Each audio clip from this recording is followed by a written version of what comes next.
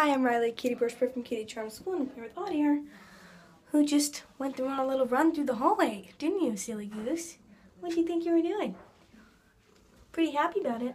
You're purring. Do you enjoy it? Oh, silly. How are you? You're so cute. Yeah. Where are you trying to go? Me little bridge. Oh, shake, shake, shake.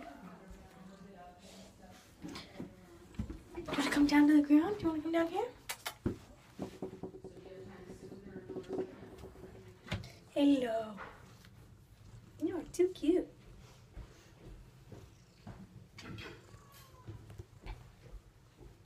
Burn up a storm, getting comfortable. You're a happy kitty.